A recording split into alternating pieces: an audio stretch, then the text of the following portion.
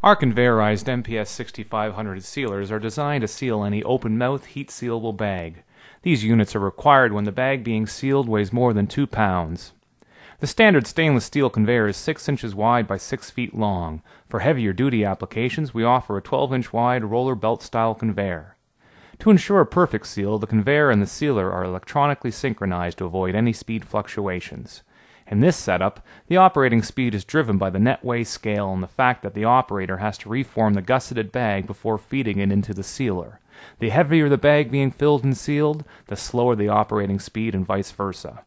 Our sealers create hermetic seals by using Teflon bands. Since these bands are a wear part, we have designed the machine so that Teflon band changeover is toolless and can be accomplished in under two minutes.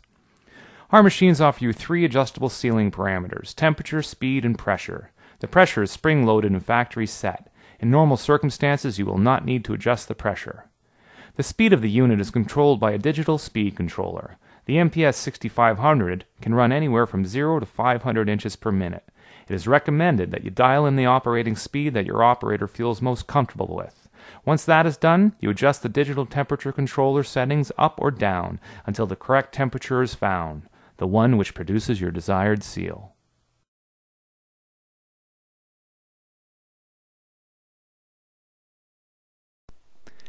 We would be more than happy to recommend the right machine for your application. To do so, please call us using our toll free number or contact us through our website.